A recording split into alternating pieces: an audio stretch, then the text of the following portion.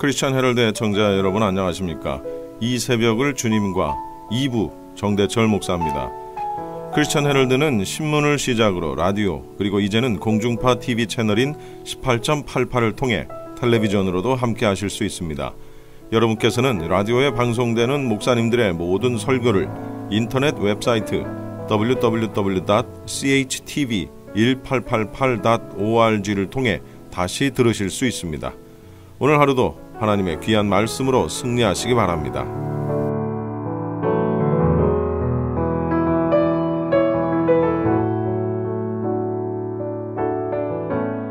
이 시간에는 먼저 주 예수 사랑교회 김준식 목사님께서 계시록 1장 3절을 본문으로 계시록에서 보여주는 일곱 가지 복이라는 제목의 설교 말씀 해주시겠습니다.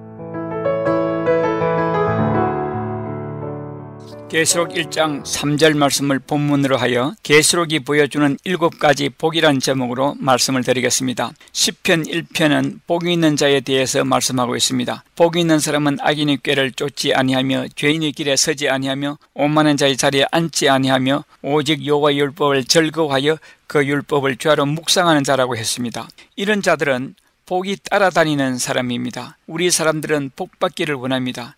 그래서 복 있는 곳을 찾아다닙니다. 장사가 잘 되는 장소, 묘자리를 잘 잡아야 복을 받는다고 해서 풍수 지리스를 쫓습니다. 이렇게 복을 찾아다닙니다. 그런데 기독교적 복은 사람이 복을 찾아다니는 것이 아니라 복이 사람을 찾아옵니다. 복이 있는 사람은 그 사람이 가는 곳마다 복이 따라다닙니다. 복을 주시는 분은 하나님이시기 때문입니다. 복이 있는 사람은 한물간 플라자에 값싸게 건물을 구입해서 들어가면 사람들이 몰려와서 이중으로 이득을 남깁니다. 하나님께서 복 주시기로 작정하시면 그 사람에게 복이 따라다니는 것입니다. 그리고 세상 사람들은 복을 찾아다니는데 그 복이란 건강하고 돈 잘 벌고 높은 명예와 권력을 가지는 것을 복이라고 합니다. 그러나 기독교의 복은 하나님 잘 섬기고 하나님 뜻대로 잘 사는 것이 복인 것입니다. 시편 1편에서도 여호와의 말씀을 즐거워하여 그 말씀을 죄하러 묵상하는 자들이 복이 있는 자라고 했습니다. 마태복음 5장의 팔복도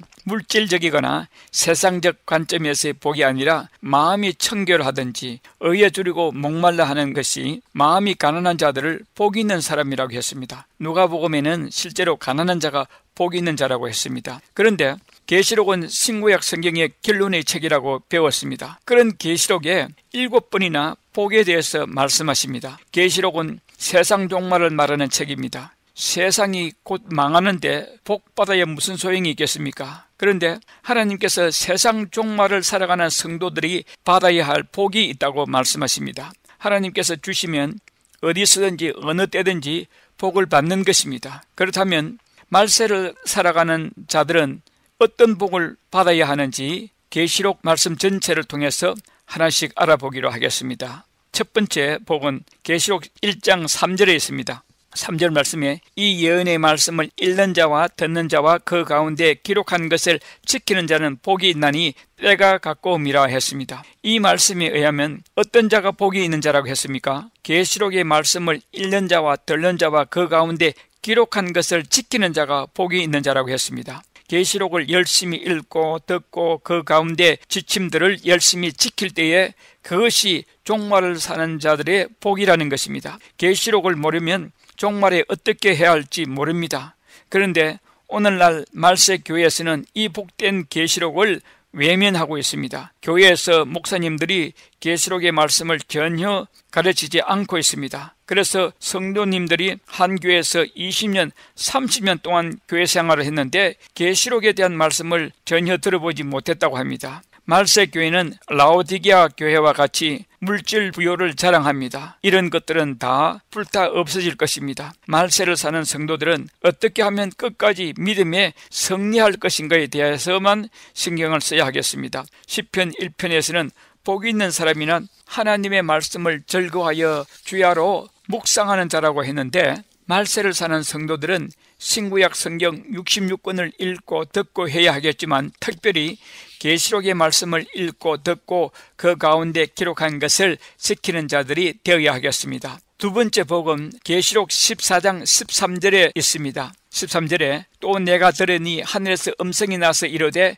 기록하라 지금 이후로 주 안에서 죽는 자들은 복이 있도다 하심에 성령이 이르시되 그러하다 그들이 수고를 거치고 시리니 이는 그들이 행한 일이 따름이라 하시더라 했습니다. 세상 사람들은 어떻게 하면 잘 살고 잘 먹고 오래 살 것인가 생각하고 이렇게 잘 사는 것을 복이라고 했습니다. 그런데 계시록 14장 13절에서는 말하기를 이후로 주 안에서 죽는 자들이 복이라고 했습니다. 세상 사람들은 오래 사는 것을 복이라고 하는데 계시록 14장 30절에서는 죽는 것이 복이라고 했습니다. 죽기는 죽되 주 안에서 죽는 자들이라 했습니다. 죽는 것이 왜 복입니까? 세상 종말은 결국 모든 사람들이 죽게 됩니다. 죽기는 죽되 아무렇게나 죽지 말고 어차피 죽을 바에야 주 안에서 죽으라는 것입니다. 그것이 복이라는 것입니다. 주 안에서 죽는 것이 무엇입니까? 예수님 말씀에 순종하여 이마와 오른손에 짐승표 받지 아니하고 짐승과 그 우상에게 경배하지 말라는 것입니다. 그것 때문에 죽게 된다면 기꺼이 죽으라는 것입니다. 그것이 복이라는 것입니다. 조금 더 목숨을 연장하려고 짐승에게 경배하기보다는 신앙 정제를 지켜 죽음으로 믿음의 승리를 하는 자는 복되다는 것입니다. 짐승에게 경배함으로 불못에 빠지지 말아야 할 것입니다. 여기에 지금 이후로라고 합니다. 이 지금 이후로는 기독교의 시초부터인지 아니면 요한이 계시록을 쓴 때부터인지 아니면 종말의 대여하려는 때부터인지를 생각할 수 있습니다. 보통 예수님을 믿는 신앙 때문에 초대교회 때부터 지금까지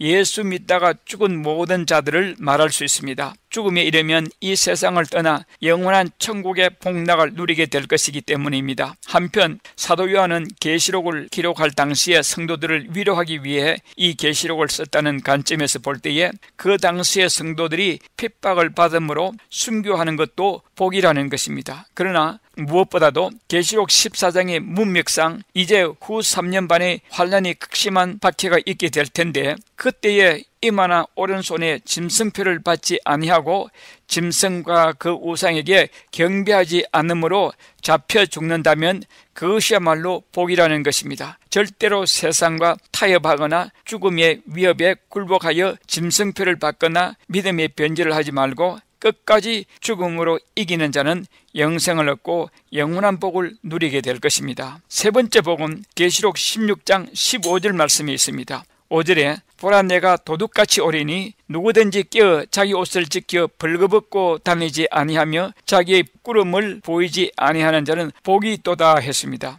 여기 도둑같이 오리라 한 것은 그리스도의 재림의 은밀성과 긴박성을 말하는 것이 아니라 준비한 채 기다리지 않는 자들에게는 그리스도의 재림이 알지 못하는 사이에 돌발적으로 일어날 것임을 경고하는 말씀입니다. 성도들은 영적으로 깨어있어 죄를 회개하고 구원과 구원의 확신을 가지고 주님이 입혀주시는 의의 옷을 입고 성도로서의 거룩함과 성결한 삶을 살아 부끄러움을 보이지 않는 자들은 복이 있는 자들인 것입니다.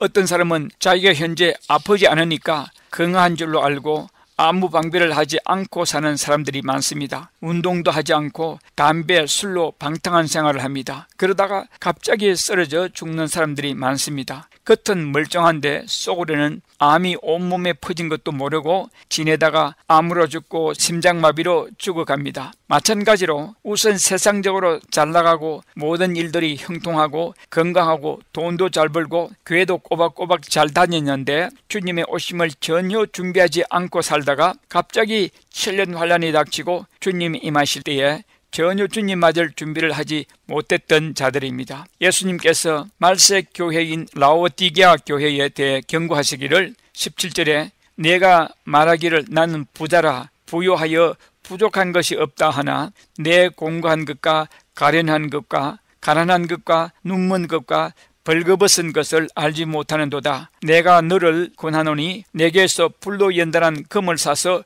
부유하게 하고 흰옷을 사서 입어 벌거벗은 수치를 보이지 않게 하고 안약을 사서 눈에 발라 보게 하라 했습니다. 라드기아 교회는 물질적으로 부자라 부유하여 부족한 것이 없다고 합니다. 교회가 부유하다는 것은 교인들이 부자요 부유하다는 것입니다. 현재의 교회와 성도들은 교회 사석으로 볼 때에 지금과 같이 부유한 때는 없었을 것입니다. 그래서 부요해서 부족한 것이 없다고 생각합니다. 교회는 다니기는 하지만 하나님이 그렇게 절실히 필요하지는 않습니다. 하나님께서 보실 때에 말세 교회와 성도들은 공고하고 가련하고 영적으로 눈물고 가난하고 벌거벗은 것입니다.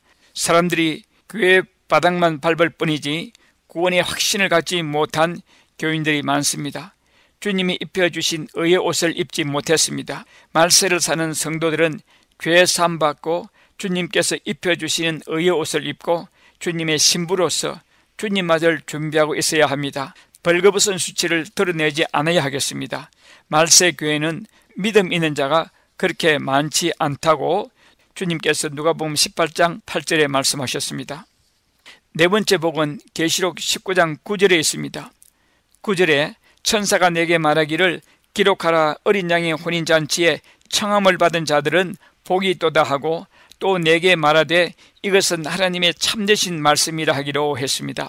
어린 양의 혼인잔치에 청함을 받은 자는 복이 있다 했습니다. 어린 양의 혼인잔치에 참여하는 자는 휴거된 자들입니다.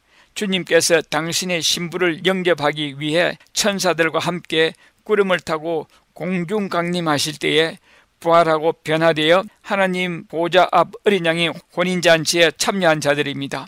불신자들은 영원한 불못에 빠지게 될 것이요 또한 교인들 중에서도 들림받지 못한 자들이 많을 것입니다. 그러므로 어린 양의 혼인잔치에 참여한 자는 복이 있는 것입니다. 다섯 번째 복은 계시록 20장 4절에서 6절 말씀이 있습니다. 또 내가 보자들을 보니 거기에 앉은 자들이 있어 심판하는 권세를 받았더라. 또 내가 보니 예수를 정언함과 하나님의 말씀 때문에 목배임을 당한 자들의 영혼들과 또 짐승과 그의 우상에게 경배하지 아니하고 그들의 이마와 손에 그의 표를 받지 아니한 자들이 살아서 그리스도와 더불어 천년 동안 왕도로 다니 그 나머지 죽은 자들은 그 천년이 차기까지 살지 못하더라. 이는 첫째 부활이라. 이 첫째 부활에 참여하는 자들은 복이 있고 거룩하도다. 둘째 사망이 그들을 다스리는 권세가 없고 도리어 그들이 하나님과 그리스도의 제사장이 되어 천년 동안 그리스도와 더불어 왕도로 다니라 했습니다. 계시록에서의 다섯 번째 복은 순교자의 복입니다. 이 순교자들은 하나님 신앙 때문에 이 세상의 삶을 포기한 자들입니다.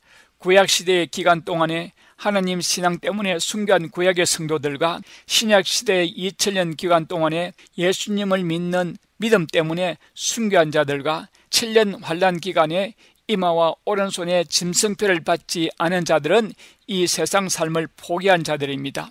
계시록 20장 4절에는 두 종류의 순교자들이 있습니다. 첫째 순교자들은 구약 시대를 걸쳐 하나님을 신앙하고 신약 시대에는 예수 그리스도를 믿는 믿음 때문에 순교한 자들을 말합니다. 그리고 둘째는 특별히 7년 환란 기간 동안에 이마나 오른손에 짐승표를 받지 않은 자들로서 짐승과 그 우상에게 경배하지 않은 자들을 말합니다. 7년 한란 전에 순교한 자들은 어쩌면 평생 동안 카터콤이나 갑바도기아 지방의 지하 토굴 속에서 숨어 살면서 결국에는 순교한 자들입니다. 또한 로마 카톨릭의 교황으로부터의 박해를 받던 왈도파 성도 같은 자들은 평생 동안 가난과 굶주림과 헐블섬을 당하면서 알프스 산내 이리 쫓기고 저리 쫓겨 살다가 죽어간 자들입니다. 그리고 지금도 예수님을 믿는 믿음 때문에 핍박과 박해를 받는 자들이 많이 있습니다. 그런데 7년 환란기에 순교한 자들은 길면 7년 혹은 짧으면 3년 반 안에 순교한 자들입니다. 그러므로 이 기간은 짧은 기간이지만 엄청나게 큰 박해와 고통을 당하게 될 것을 보여줍니다. 한편 말세에 사는 성도들이 복이기도 합니다. 계시록의 이 다섯 번째 복은 순교자들에게 주시는 복인데 세 가지 면에서 복을 받게 됩니다. 첫째는 심판하는 권세를 받는 것과 둘째는 천년 동안 왕노로 하게 되는 것과 셋째는 첫째 부활에 참여하는 것입니다. 전에 살아 있을 때는 세상 권력자나 박해자들에게 재판을 받았지만 이제는 자기들을 심판했던 자들을 오히려 심판하는 자가 되었습니다. 전에는 가난과 핍박을 당하며 이 세상을 포기한 그런 자였는데 이제는 세상을 통치하는 왕노릇을 하게 되었습니다. 주님과 함께 왕노릇하게 되는 복을 받게 됩니다. 여섯 번째 복은 계시록 22장 7절에 있습니다. 보라 내가 속히 오리니 이 두루마리의 예언의 말씀을 지키는 자는 복이 있으리라 하더라 했습니다. 이 여섯 번째 복은 계시록 1장 3절의 첫 번째 복과 같습니다. 3절에 이 연의 말씀을 읽는 자와 듣는 자와 그 가운데에 기록한 것을 지키는 자는 복이 있나니 때가 가까움이라 했습니다. 계시록에는 말세를 사는 성도들은 거룩해야 하고 성결해야 하며 죄짓지 않아야 하고 이마나 오른손에 짐승표 666을 받지 않고 짐승과 그의 우상에게 경배하지 말라 하신 계시록의 말씀을 죽기까지 지키는 자들이 복이 있다고 말씀하십니다.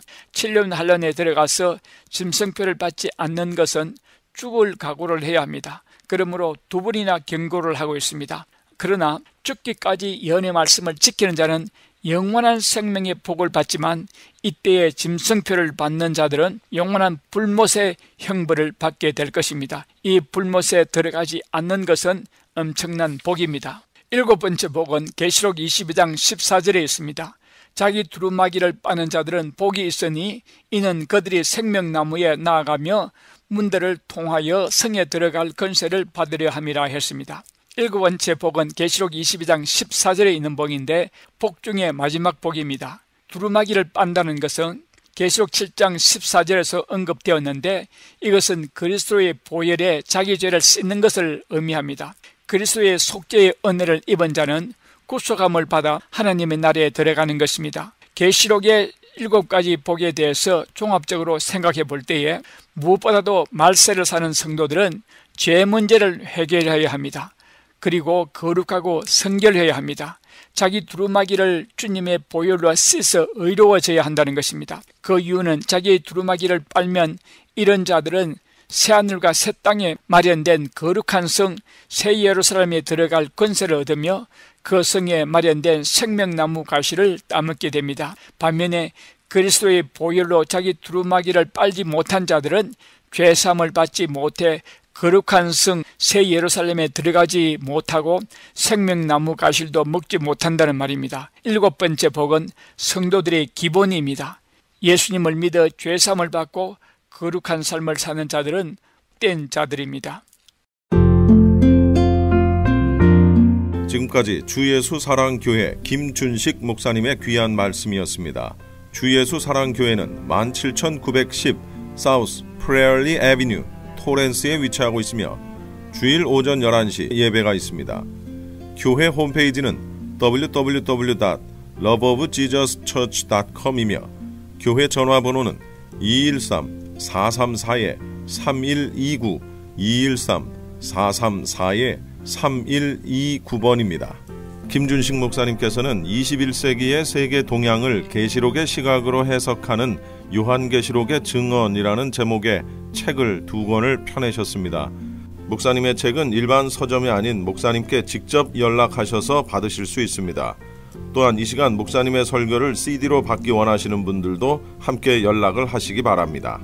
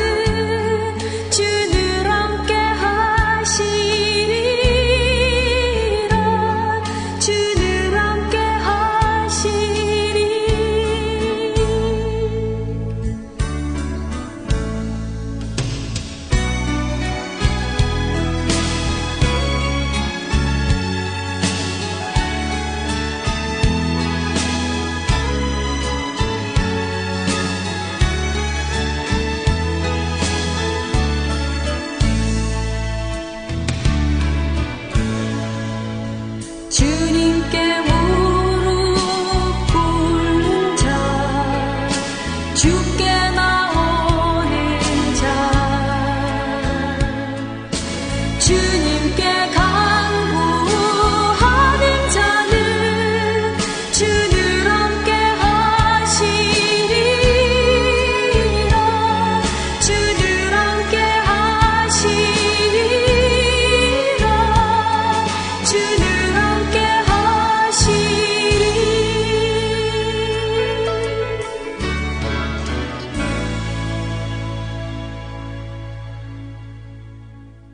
이어서 복음 장로교회 김상덕 목사님께서 요한복음 20장 11절로 18절까지를 본문으로 내가 주를 보았다 라는 제목의 설교 말씀해 주시겠습니다. 요한복음 20장 11절에서 18절입니다. 함께 읽으시겠습니다. 마리아는 무덤 밖에 서서 울고 있더니 울면서 구부려 무덤 안을 들여다보니 흰옷 입은 두 천사가 예수의 지체에 뉘었던 곳에 하나는 머리편에 하나는 발편에 앉았더라. 천사들이 이르되 여자여 어찌하여 이르되 사람들이 내 주님을 옮겨다가 어디 두어든지 내가 알지 못합니다. 이 말을 하고 뒤로 돌이켜 예수께서 서 계신 것을 보았으나 예수이신 줄은 알지 못하더라. 예수께서 이르시되 여자여 어찌하여 웃며 누구를 찾느냐 하시니 마리아는 그가 동산직인 줄 알고 이르되 주여 당신이 옮겼거든 어디 두었는지 내게 이르소서 그래 하면 내가 가져가리다 예수께서 마리아야 하시거늘 마리아가 돌이켜 히브리 말로 라보니 하니 이는 선생님이라는 말이라. 예수께서 이르시되 나를 붙들지 말라. 내가 아직 아버지께로 올라가지 아니하였노라. 너는 내 형제들에게 가서 이르되 내가 내 아버지 곧 너의 아버지 내 하나님 곧 너의 하나님께로 올라간다 하시니 막달라 마리아가 가서 제자들에게 내가 주를 보았다 하고 또 주께서 자기에게 이렇게 말씀하셨다 이러니라 아멘. 오늘은 우리 주님께서 부활하신 날을 특별히 기념하는 참 성일입니다. 오늘 이런 새벽에 예수님의 무덤을 찾았던 두 여인이 있었습니다. 예수님의 무덤에 찾아가서 저들이 생각하기에 문을 지키는 사람, 돌로서 이렇게 입구를 막아 두었거든요. 그 사람들에게 부탁해서 그 무덤 안으로, 그 무덤은 이렇게 동굴입니다. 동굴. 예, 굴입니다. 그래서 그 안으로 사람이 들어가서 시신은 예, 세마포, 흰 천으로 이렇게 감아 둡니다. 예. 그곳에 향품을 뿌려 드리려고 여인들이 준비해서 예수님 무덤을 찾아갔어요. 가까이 갔을 때 큰 지진이 일어났습니다. 얼마나 두려웠는지 그냥 무덤을 지키는 사람들도 뭐 그냥 초죽음이 되고 이 여인들도 그냥 두려움에 그냥 쓰러졌습니다. 정신 차려서 눈을 떠보니까 그 무덤을 지키던 사람은 너무 두려워서 도망가 버렸고 보니까 예수님의 무덤 입구에 돌로 막은 것이 옮겨져서 그 무덤 안이 보입니다. 보는데 놀라운 것은 예수님의 시체가 보이지를 않았어요. 여인들이 두려운 가운데서 슬픔 가운데 무덤 가까이 가서 안을 보았어요. 보았더니 두 천사가 예수님의 시체가 누여 있었던 곳 머리맡에 한 천사, 발 쪽에 한 천사 둘이 앉아 있었습니다. 너희가 찾는 예수는 살아났느니라. 그것이 귀에 들릴 리가 없습니다. 저들은 두려움과 예수님의 시체가 없는 것에 대한 슬픔이 꽉 찼습니다. 저들은 그 예수님의 무덤이 있는 산 언덕에서 제자들이 함께 있는 곳으로 급 히 두려운 가운데 내려와서 보고합니다. 예수님의 시체가 없어졌다고. 누가 훔쳐갔는지 모르지만은 예수님의 시체가 없어졌다고 두려운 가운데서 알려줍니다. 제자들은 더 두려워했지요. 그 중에 베드로와 요한이 예수님의 무덤이 있는 동산으로 올라갑니다. 상당히 높은 곳입니다. 올라갑니다.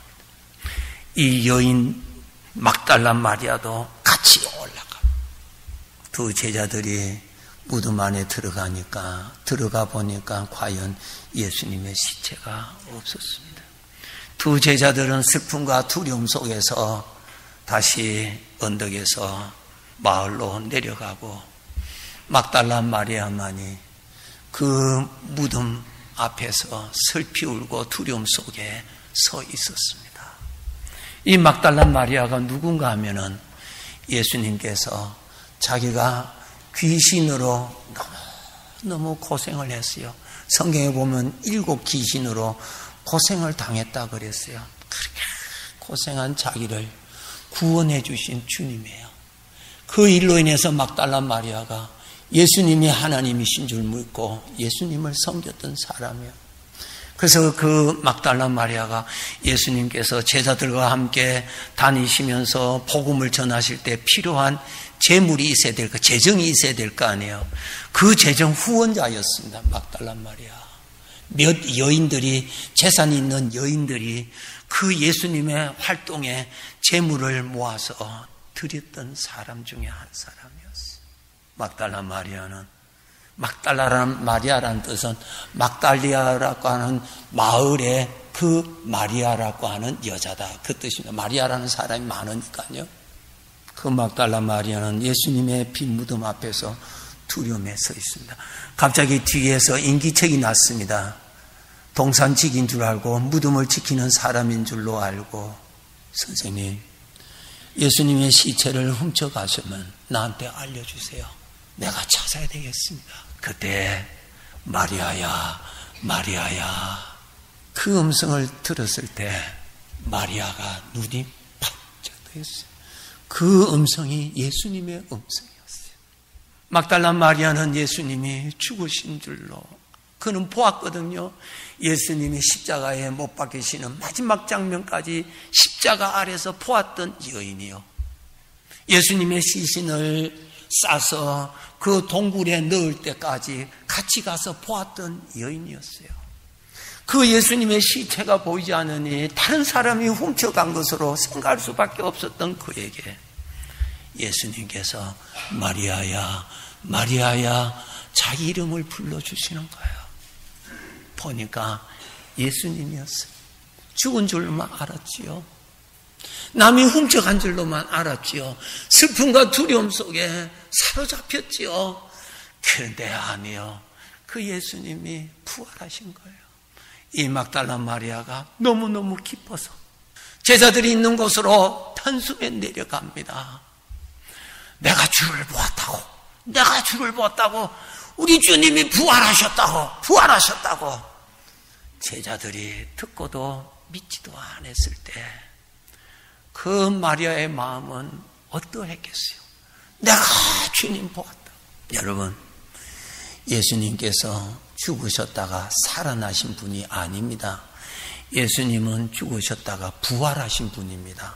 살아났다는 것하고 부활하셨다는 것하고는 다릅니다.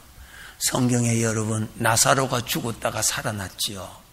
그 살아난 것은 얼마 있다가 또 죽었습니다. 그 나사로는 죽음으로 인해서 이 세상에 없는 것입니다. 다른 곳으로 가는 것입니다.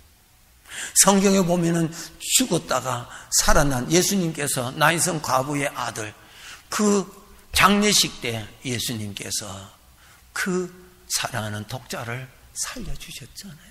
그런 사람들은 죽음에서 살아난 사람입니다. 살아난 것이 뭡니까? 이전 몸과 똑같은 그 몸으로 살아났다는 거예요. 그 몸은 또 병들고 또 시들고 또 언젠가는 죽는다는 말입니다. 부활이라는 말은 죽음이 없으신 영원한 몸으로 살아나셨다는 뜻입니다. 예수님이 부활하신 거예요. 예수님이 부활하신 거예요. 마리아가 예수님의 부활하신 것을 자기 눈으로 보았습니다. 내가 보았다고요. 그날 주일입니다. 오늘 주일이죠. 오후에 예수님을 따라다니던 많은 사람들이 실망하고 다 자기 고향으로 내려갔습니다. 예수님이 어떠한 큰 일을 하실 줄로 알았는데 그런 일은 못 하시고 그냥 십자가에서 그냥 비참하게 죽으신 모습을 보고 사람들은 다 헤어졌습니다. 그 중에 두 사람이 엠마우로라고 하는 고향으로 이 두 사람이 내려가면서 아주 실망과 슬픔 가운데서 내려가고 있었습니다. 내려가고 있을 때 예수님이 함께 하셨어요. 예수님이 함께 하셨어요. 저들이 내려오기 전에 아침에 어떤 사건이 일어난 거 들었지요. 어떤 여인은 살아났다고 이야기한 거 들었지요. 그러나 이 두 제자는 열두 제자가 아닙니다. 다른 사람들. 예수님을 따르던 무리들 중에서 이 사람들도 여전히 실망과 두려움 속에서 자기 고향으로 내려가고 있었는데 예수님이 같이 하셨어요. 나중에 그분이 예수님인 줄 알고 저들이 용기를 얻고 다시 예루살렘으로 올라왔어요. 예수님이 부활하신 거예요. 어디서든지 나타나실 수 있는 분으로 시간과 공간을 초월하시는 영적인 분으로 그 몸을 입고 나타나신 거예요. 그 두 제자들이 제자들이 있는 곳으로 찾아가서 내가 우리가 주님을 보았다고 우리가 주님을 보았다고 우리가 주님을 보았다고 하, 이야기를 합니다. 그날 저녁 오늘 주일 저녁에 제자들이 모여서 음식을 먹고 있는데 그 방 안에 예수님이 오신 것입니다. 부활하신 예수님.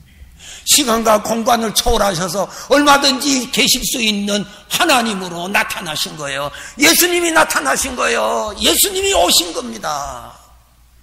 제자들이 너무 기쁘기도 하지만은 믿을 수가 없었어요.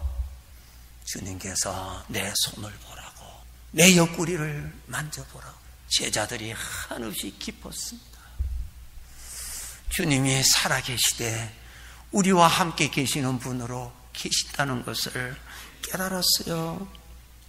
사도행전 9장 1절부터 보면은 예수님을 믿는 사람들을 아주 미워하고 예수님 믿는 사람을 앞장서서 핍박했던 사람 중에 한 사람이 사울이라고 하는 사람이었어요. 사울이라고 하는 사람이 대제사장으로부터 예수 믿는 사람을 찾아서 신문하고 감옥에 집어넣을 수 있는 행정권을 받고 저 다메섹 지금 이란이 어, 시리아지요 시리아 다메섹으로 올라갑니다. 우리 교회에서 수년 전에 성지순례 갔을 때 이 길로 갔습니다. 제가 참 잊을 수 없는 여행이었어요. 가는 길에 정오의 대낮에 해보다도 밝은 빛이 갑자기 내리쬐어서 그냥 다 쓰러졌습니다. 사울에게 음성이 들렸습니다. 사울아, 사울아, 부르시는 거예요. 누구십니까? 내가 핍박하는 나사렛 예수다. 고린도전서 15장 2절에 보니까 그때 예수님을 보여주셨다 그랬어요. 그때 사울이 예수님을 본 거예요. 살아계시는 예수님을 본 겁니다. 사울은 변화될 수밖에 없죠. 살아계신 예수님을 만난 사람은 다 변화될 수밖에 없었다는 거지요. 그는 그 예수님을 모시고 예수님께 일평생 충성하면서 살았습니다. 요한계시록 1장 9절부터 보면은 예수님의 열두 제자 중에 요한이라고 하는 제자가 반모섬이라는 곳에서 핍박을 받고 그곳에 버림을 쫓김을 받는 유배받으면서 그곳에 갔습니다. 그곳에서 죽으라고 그냥 보내버린 거예요. 요한이가 주일 이른 아침에 엎드려서 기도하는데 예수님께서 뒤에서 서 계시는 거예요. 부활하신 예수님이 우리가 어디에 있든지 예수님이 계시는 거예요. 요한 혼자 밤모섬에서 거기서 이제 시간이 지나면은 죽음 외에는 없는 그 밤모섬에서 예수님이 뒤에 탁 계시는 거예요. 요한이가 예수님 너무나 잘 알잖아요.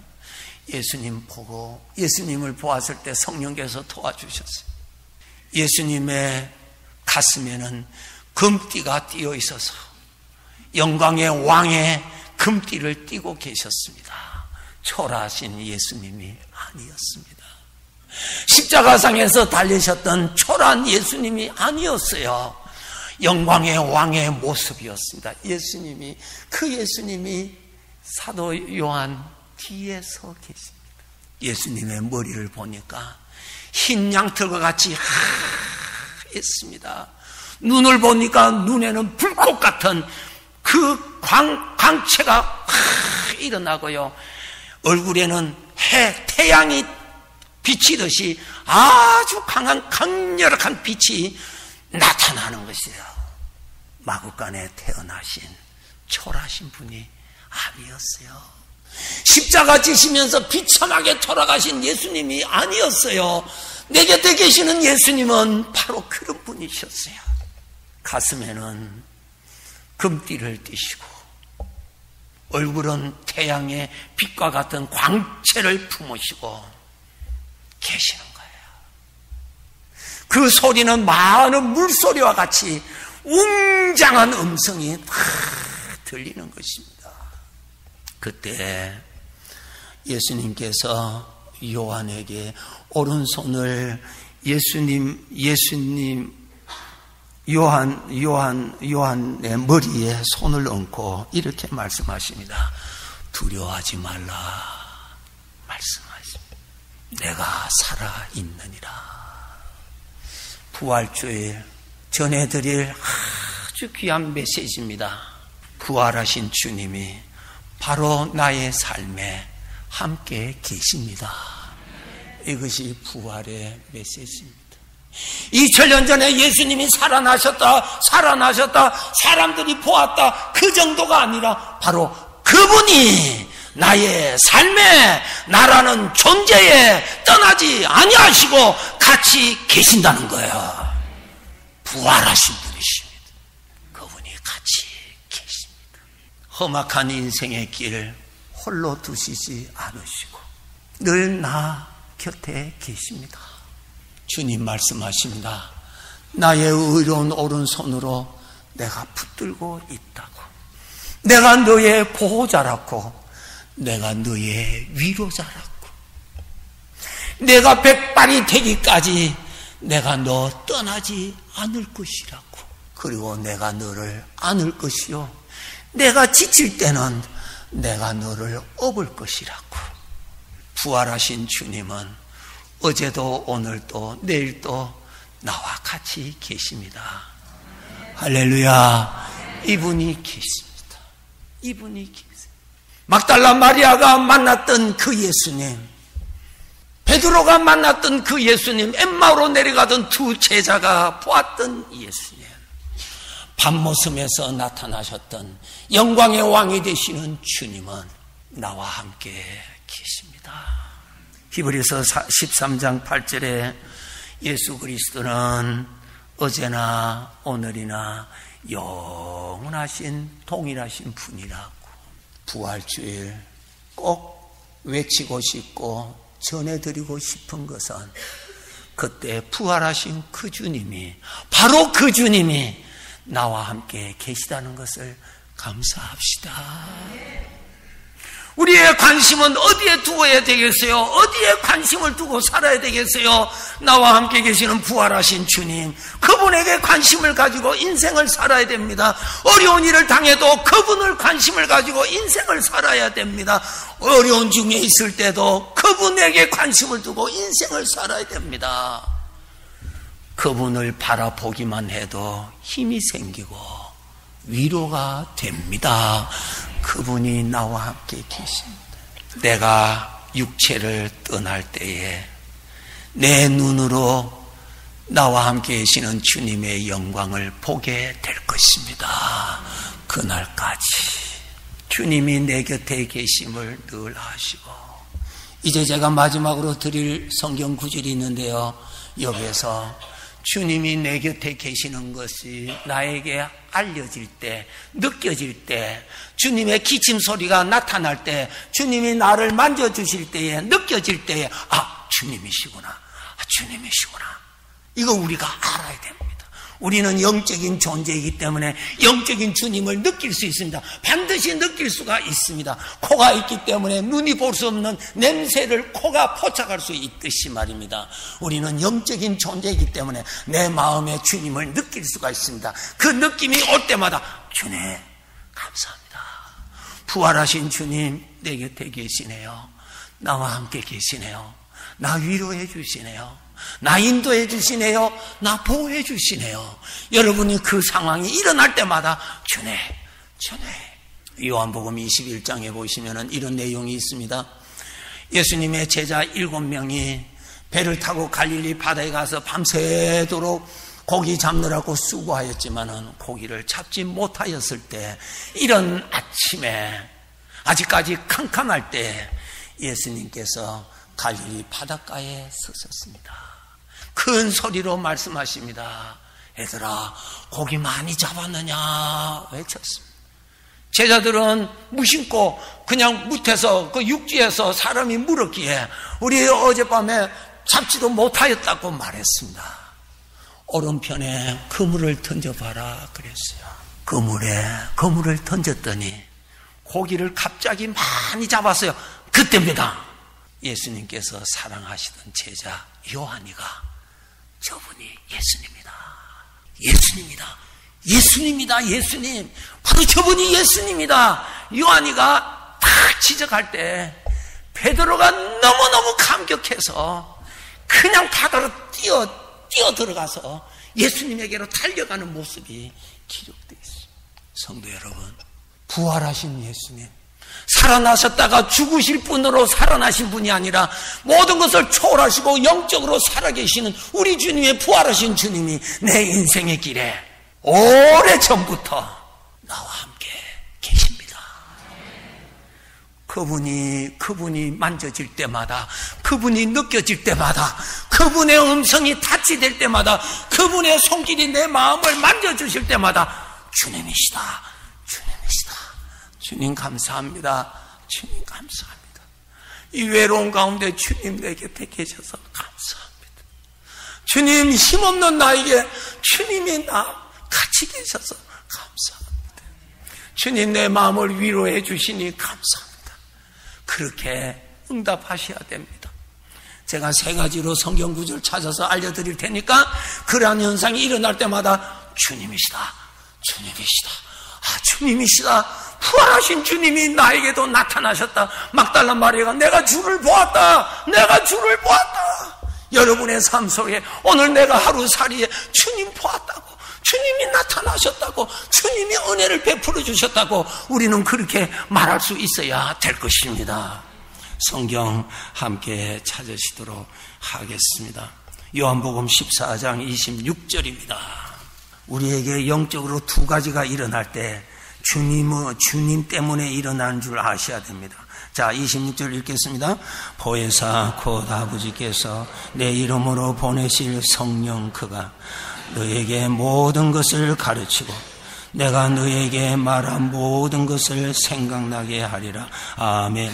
모든 것을 가르친다. 주님이 성령은 그리스도의 영입니다. 하나님의 영이세요. 너에게 모든 것을 가르치고 하나님을 깨달, 깨달으실 때 여러분 설교 들으실 때 그 말씀이 무언가 깨달아질 때 여러분이 찬송 중에 무엇인가 깨달아질 때 여러분이 성경을 읽으실 때 무엇인가 말씀대로 깨달아질 때 주님이 깨닫게 도와주셔서 깨달아지는 것입니다. 그런 것이 일어날 때 주님이시구나. 주님이시구나. 주님이시구나. 피조물이 조물주, 창조주 하나님을 바로 이해할 수 없습니다. 피조물인 인간이 하나님을 이해하려면 반드시 하나님의 도움을 받아야만이 이해할 수 있습니다. 그래서 하나님의 어떠한 것도 이해가 크게 되든 작게 되든 이해가 되면은 하나님이 도와주셔서 이해가 되는 줄 아시고 주님 감사합니다. 주님 감사합니다. 그렇게 말씀을 드리시기를 바랍니다. 그리고 모든 것을 생각나게 한다. 어려울 때 하나님의 말씀이 생각날 때, 기도할 때 문득 하나님의 말씀이 생각이 날 때, 주님께서 도와주시기 때문에 생각이 나는 겁니다. 그런 것이 현상이 일어날 때, 주님, 감사합니다. 주님, 감사합니다. 내가 오늘 주님을 보았노라고. 내가 오늘 주님을 경험하였노라고. 주님, 감사합니다. 주님, 감사합니다. 해야 됩니다. 그 다음에 빌립보서 2장 13절 찾아보시기 바랍니다. 읽겠습니다. 너희 안에서 행하시는 이는 하나님이시니 자기의 기쁘신 뜻을 위하여 너희에게 소원을 두고 행하게 하시나니 하나님이 기뻐하시는 어떠한 소원된 생각이 일어날 때, 어, 주님이시구나. 주님이시구나. 하나님이 기뻐하시는 어떤 소원이 스칠 때, 아, 주님이시구나. 주님이시구나. 주님 감사합니다. 꼭 그렇게 하셔야 돼. 일어날 때마다. 일어날 때마다. 바람, 바람이 아니고서는 오늘도 여전히 나무 가지는 흔들리지 않습니다. 바람이 불어야, 바람이 흔들어줘야 나무 잎이 흔들립니다. 우리 인간의 마음이 하나님을 향하여 조금이라도 움직인다면, 하나님을 향하여 조금이라도 움직인다면, 하나님이 도와주셔서 일어나는 것이. 그럴 때마다 주님, 부활하신 주님, 내 곁에 계시는 주님, 오늘 또 도와주셔서 감사합니다. 우리가 육신과의 싸움이 있을 때, 내 나름대로의 고집과 싸우고 있을 때, 내 안에서 부단하게 하나님의 말씀이 자꾸 옵니다. 민물처럼 말씀이 떠나지 않고 계속 옵니다. 그것이 바로 주님이십니다. 주님이 내 곁에 계셔 주시는 거예요. 주님께서 나를 빼앗기지 않으시려고 주님 말씀으로 계속 주시는 거예요.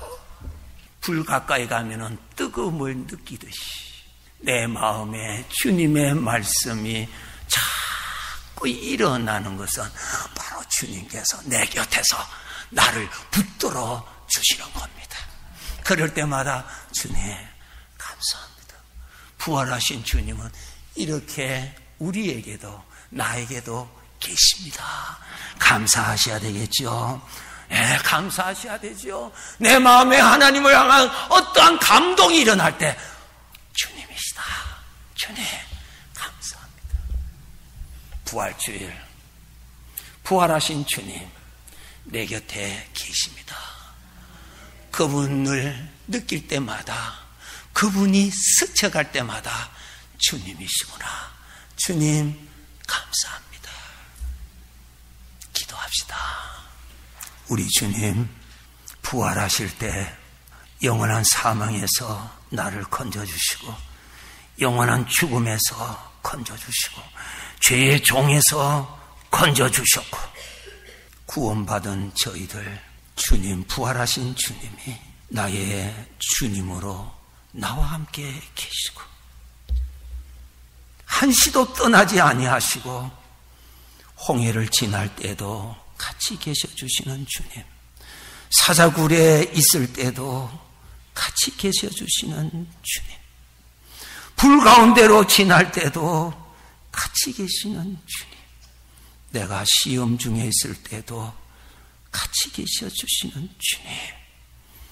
주님, 나 사랑하시는 주님의 사랑은 결코 변함이 없으시네.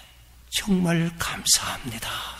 주님, 나타나시는 주님 깨달을 때마다 주님께 감사하게 주옵소서. 고개 숙인 모든 자들 믿음의 눈을 더 열어주셔서 부활하신 주님이 나 사랑하셔서 나 머리털까지도 신경 써주시고 지켜주시고 위로해 주시고 보호해 주시고 구원해 주시되 천국까지 데려가시는 내 주님을 알게 하시고 더욱더 감사하게 하시고 더욱더 모시고 살아가는 거룩한 기쁨이 가득 차게 해 주시옵소서. 우리의 가정에 주님이 왕노릇 하셔서 평안케 하여 주시고 우리 가정에 주님이 자정하셔서 주님의 기뻐하시는 열매가 풍성케 하여 주시옵소서 예수님의 이름으로 기도하옵나이다.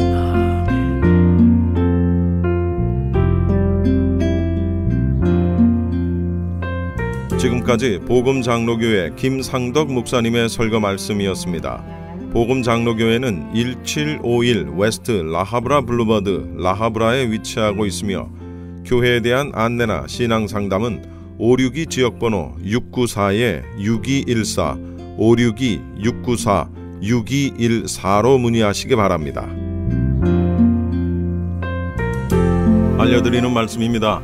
아주사 나우라는 주제로 캘리포니아 부흥을 위한 전 도시 총력 전도 집회 및 다민족 연합 기도회가 오는 4월 9일 토요일 오전 9시부터 LA 메모리얼 콜리세움에서 열립니다.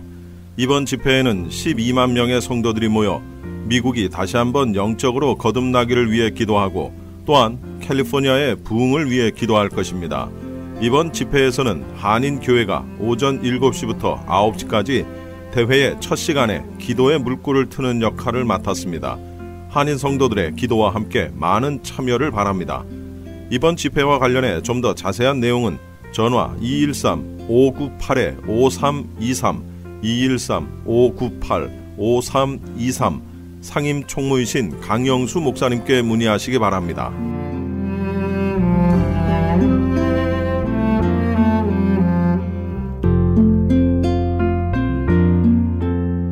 평신도를 깨우는 국제 23기 제자훈련 지도자 세미나 소식입니다.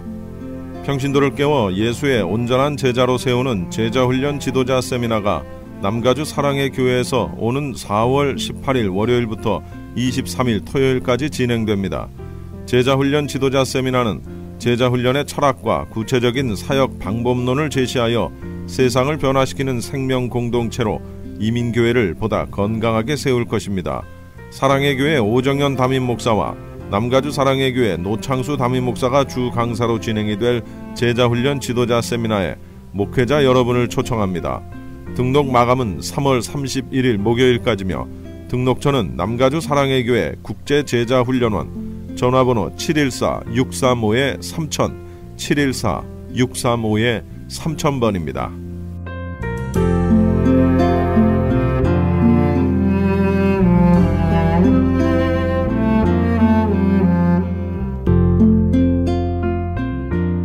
크리스천 헤럴드는 38주년을 맞아 한결같이 지켜주신 하나님께 감사를 드리며 한 영혼이 천하보다 귀하다는 하나님의 말씀으로 한 영혼이라도 복음을 듣고 죽게 돌아오기를 간절히 기도하는 마음으로 미디어 선교 사역의 역할을 감당하고 있습니다.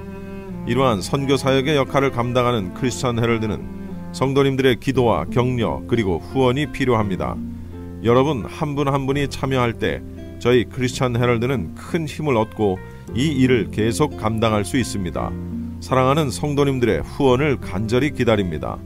후원 방법은 일시금으로 특별 후원금 그리고 매달 10불의 천사 후원금이 있습니다. 여러분의 많은 참여를 부탁드립니다. 자세한 안내는 크리스천 헤럴드 213-353-0777 213-353-0777번으로 하시기 바랍니다.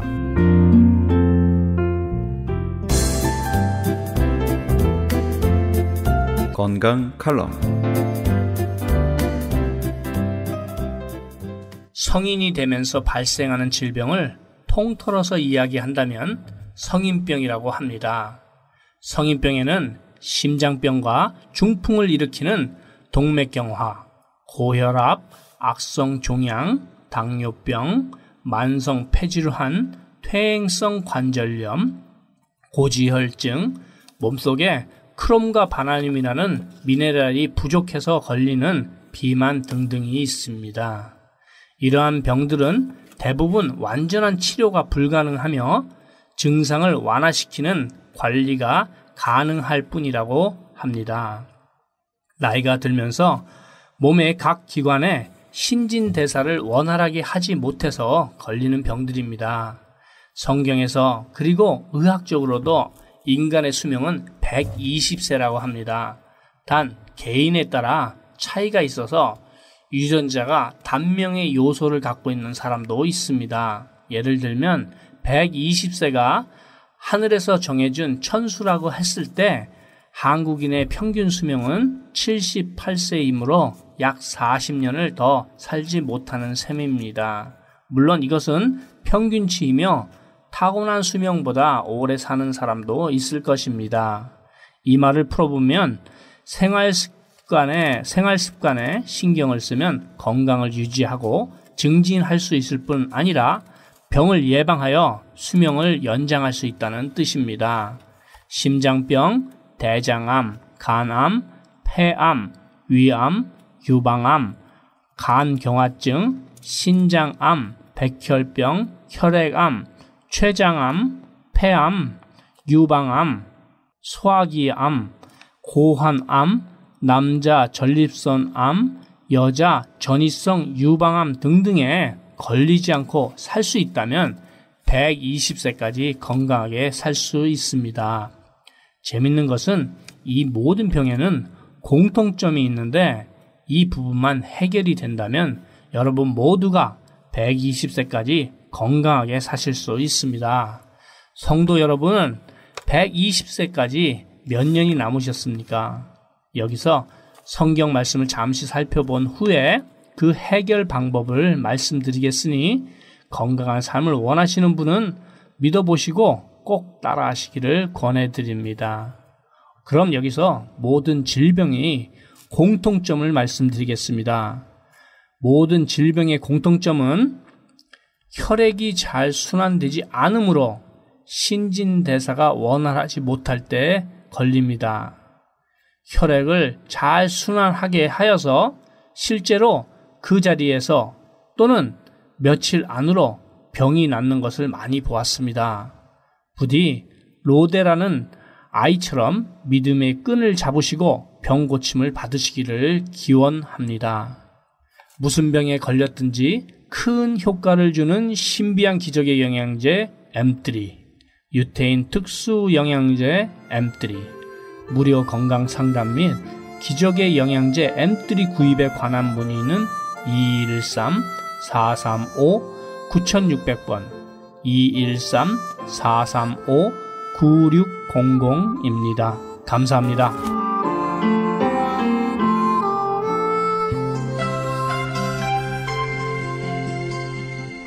지금까지 크리스천 헤럴드에서 보내드린 이 새벽을 주님과 1부, 2부 순서 모두 마치겠습니다. 오늘 하루도 승리하는 하루 되십시오. 내일 뵙겠습니다. 고맙습니다. 나에게 더할 수 없는 기쁨을 가져다 주시는 분 날마다 자비를 베푸시며 아침마다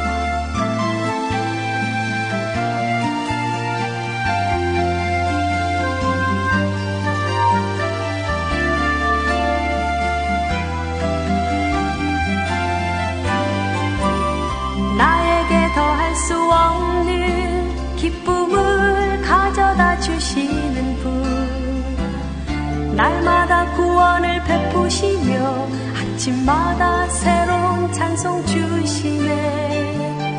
아름다우신 주 그 이름 기묘란 모사. 전능하신 하나님 그는 예수. 영원한 소망을 주시며